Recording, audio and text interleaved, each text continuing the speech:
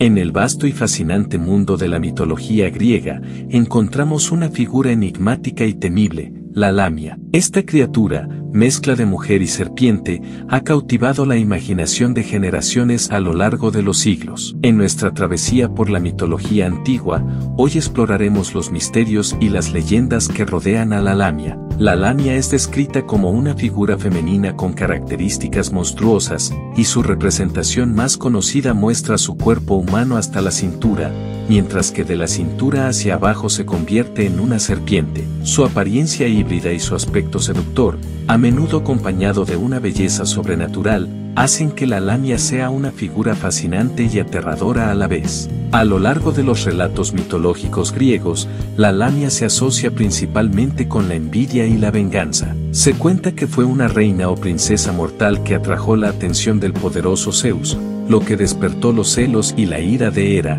la esposa del dios supremo. Como resultado de su maldición, la lamia se convirtió en la criatura monstruosa que conocemos hoy en día. Sin embargo, hay muchas versiones de la leyenda que rodea a esta enigmática figura. Algunas narraciones sugieren que la lamia se alimentaba de la carne de niños, llevándolos a la perdición. Otras cuentan que su seducción hipnótica se dirigía hacia los hombres, seduciéndolos y llevándolos a su perdición. Acompáñanos a descubrir la historia de este enigmático personaje griego. Comencemos. El origen de la lamia se remonta a los mitos y las leyendas de la antigua Grecia. Si bien existen varias versiones, una de las más populares cuenta que la lamia fue en un tiempo una hermosa reina o princesa mortal que atrajo la atención del poderoso Zeus, padre de los dioses. Su relación prohibida y secreta desencadenó los celos y la ira de Hera, la esposa de Zeus y diosa del matrimonio. Enfurecida por la infidelidad de su esposo, Hera maldecía a la lamia, transformándola en una criatura monstruosa. Según la versión más común, la maldición deformaba su cuerpo, haciendo que su parte inferior se convirtiera en la cola de una serpiente venenosa, y asesinó a sus hijos. Aunque algunos dicen que primero Hera mató a sus hijos y posteriormente Lamia en su pesar se convirtió en un monstruo, otros relatos sugieren que la maldición también afectaba su rostro, otorgándole una apariencia aterradora y grotesca. Uno de los castigos otorgados a Lamia fue que no podía cerrar los ojos, para que siempre estuviera obsesionada con la imagen de sus hijos muertos. Por eso el dios Zeus le otorgó el don de poder extraerse los ojos para así descansar y con el tiempo poder colocárselos de nuevo. Sin embargo, la historia de la Lamia no se detiene ahí. La leyenda cuenta que, tras su transformación, la lamia experimentaba una sed insaciable de venganza y se deleitaba con el dolor de los demás. Según algunas narraciones, se decía que la lamia se alimentaba de la carne de niños, acechando y secuestrando a los más inocentes para satisfacer su hambre. Antes de seguir adelante, te animo a que te suscribas a nuestro canal. Así, podrás ser parte de nuestra comunidad de amantes de la mitología y leyendas, además nos ayudarás a llegar a más personas interesadas en este apasionante tema. Y ahora, volvamos al video y continúa disfrutando de la historia de la lamia en la mitología griega. La lamia es descrita en las historias y leyendas griegas como una criatura con una apariencia tanto seductora como monstruosa. Su representación más común la muestra con un cuerpo humano desde la cintura hacia arriba, pero a partir de la cintura, su forma se transforma en la cola de una serpiente venenosa. Esta hibridación entre mujer y serpiente es una de las características más distintivas de la lamia. Su apariencia física, sin embargo, no se limita solo a su parte inferior de serpiente. Según las narraciones, la lamia también tenía rasgos faciales terroríficos y grotescos. Algunos relatos la describen con ojos brillantes y penetrantes, dientes afilados y una expresión amenazante. Esta imagen aterradora y monstruosa contrasta con la belleza sobrenatural que se le atribuye, lo que le permite seducir y atraer a sus víctimas. Además de su apariencia, a la lamia se le atribuyen habilidades y poderes sobrenaturales. Una de sus habilidades más conocidas es la capacidad de cambiar de forma, lo que le permite adaptarse y confundir a sus presas. Se dice que puede adoptar diversas apariencias, tanto humanas como animales, para engañar a los incautos y acercarse a ellos. Otro poder atribuido a la lamia es su habilidad para hipnotizar a los hombres con su mirada. Se cuenta que sus ojos brillantes y penetrantes tienen un poder irresistible sobre aquellos que los encuentran.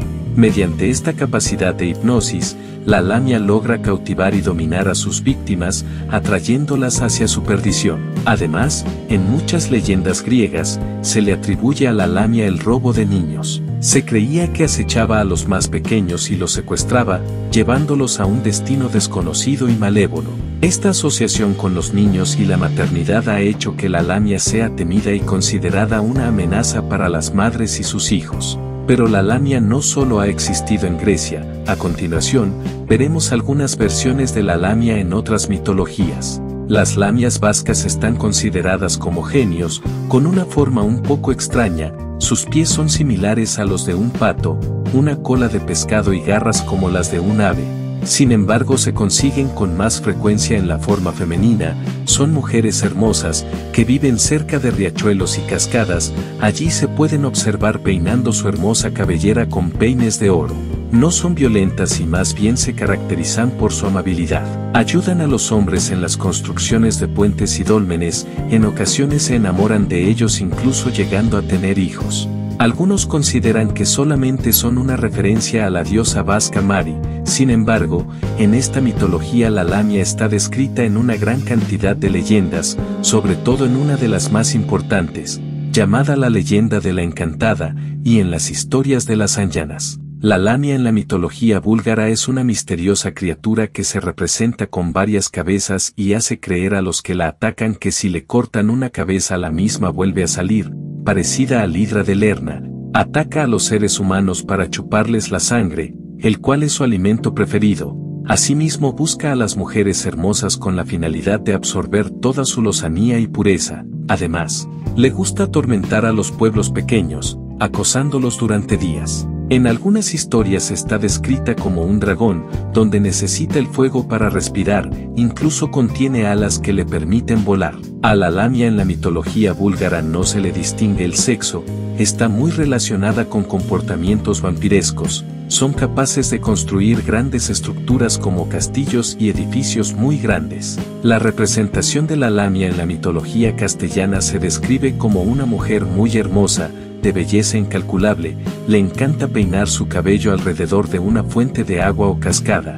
La idea es atraer a los viandantes, que siempre pasan por esos lugares. La lamia más conocida es la de Usanos, en donde una mujer con características de diosa se aparece cerca de una hermosa cascada mirando en un espejo, durante el día de San Juan.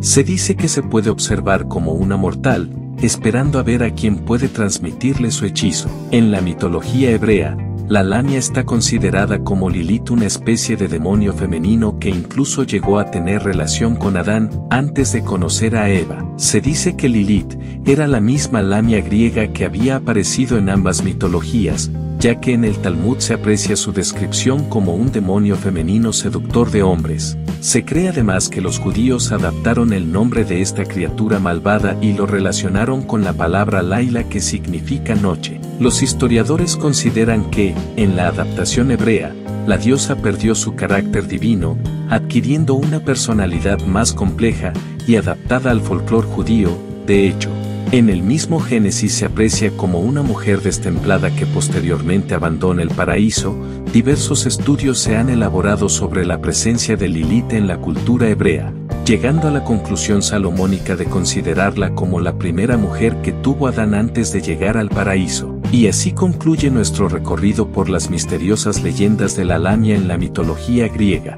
Espero que hayas disfrutado de este viaje a través de los relatos y los aspectos más destacados de esta enigmática criatura. Si te ha gustado el video y deseas continuar explorando mitos y leyendas fascinantes, te invito a suscribirte a nuestro canal para no perderte ninguna de nuestras futuras aventuras mitológicas. Además, no olvides dejar tu comentario y compartir tus pensamientos sobre la lamia, responde si te ha intrigado su apariencia y sus habilidades sobrenaturales. Tus comentarios y sugerencias son muy valiosos para nosotros, ya que nos permiten mejorar y ofrecerte contenido que realmente te interese. Asimismo, si te ha gustado el video y has encontrado información útil, Te agradeceríamos que dejaras tu like para apoyar nuestro trabajo y ayudarnos a llegar a más personas interesadas en la mitología.